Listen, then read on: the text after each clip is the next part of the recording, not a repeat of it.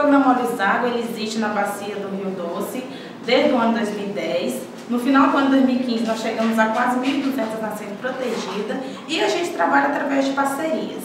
Esse ano nós conseguimos aprovar um novo projeto para 400 nascentes com o BNDES e estamos trazendo essas nascentes para ser feito na área da bacia do rio do Comitê de Suaçuí. Esse trabalho é de parceria, onde a demanda vai ser passada dos produtores rurais através do comitê e o Instituto Terra vai estar realizando o trabalho nessa região. Temos parcerias também com outras instituições, como a Univale, que vai estar nos auxiliando no cadastro dos produtores rurais e no trabalho de mobilização.